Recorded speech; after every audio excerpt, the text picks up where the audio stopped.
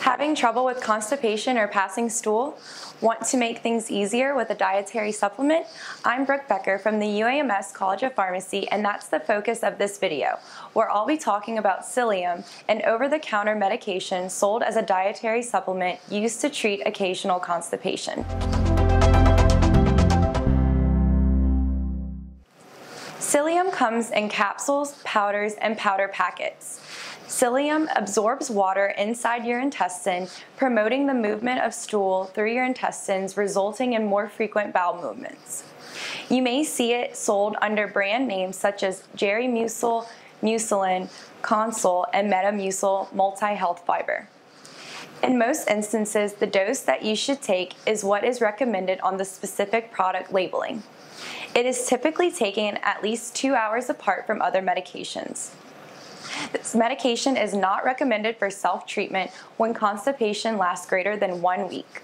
Do not inhale psyllium powder when mixing as it can irritate the lungs or cause a reaction. Always take psyllium products with 8 ounces of water to prevent choking. Psyllium may be taken with or without food. This medication should not be taken if you experience stomach pain, nausea, or vomiting. If you notice that your bowel habits are changing suddenly or if you have rectal bleeding, you should notify your doctor or talk to your local pharmacist. Common side effects include bloating, stomach aches, or cramps.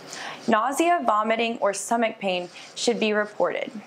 If you also feel signs of wheezing, chest tightness, or bad cough and itching, these are signs you might be having a severe allergic reaction and you should consult your doctor or pharmacist immediately. Tell your healthcare providers that you're taking psyllium along with any other OTC medications that you might be taking. If you find yourself in need of an aid for occasional constipation, remember that psyllium is a medication that may be helpful. It promotes stool movement through the intestines and comes in various dosage forms, such as powder or capsules. Remember, don't forget to talk to your doctor or pharmacist if you experience signs of an allergic reaction or if your symptoms do not improve.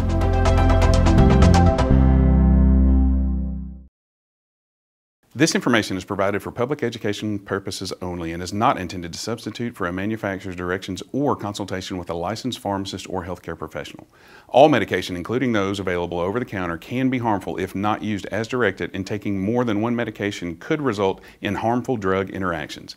Please consult a licensed pharmacist or healthcare professional before taking any medication or changing an already approved or prescribed medication plan.